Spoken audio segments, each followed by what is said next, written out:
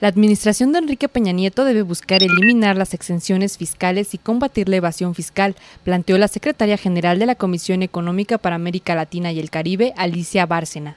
Yo creo que hay que mirar el tema de las exenciones tributarias. Exenciones que si quizás en algún momento dado fueron dadas para impulsar algunos sectores productivos y tal, pero que a lo mejor es el momento de este, realmente revisarlas y quizás hasta retirarlas en entrevista exclusiva con el Universal, celebrada en las instalaciones de la sede regional, Bárcena sugirió combatir el empleo informal. Lo que sí creo que es no negociable es que eh, se, digamos que se profundice el tema del empleo informal.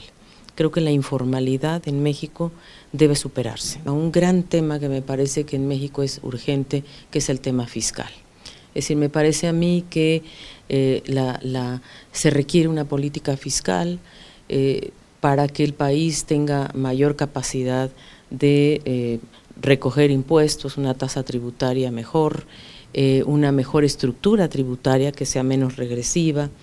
Desde el 1 de julio de 2008, Barcena ocupa la Secretaría Ejecutiva de la CEPAL. Hoy, con el cambio de poderes en México, está consciente de que todos quieren platicar con el futuro presidente de nuestro país. Muchos organismos le están hablando en este momento al, presidente electo y, obviamente a mí me, encantaría tener la oportunidad de, de, tener una reunión con él y su equipo de trabajo para para quizás compartir las reflexiones que hemos acumulado en este tiempo en la CEPAL. Con imágenes de Víctor Figueroa e información de José Manuel Arteaga, El Universal.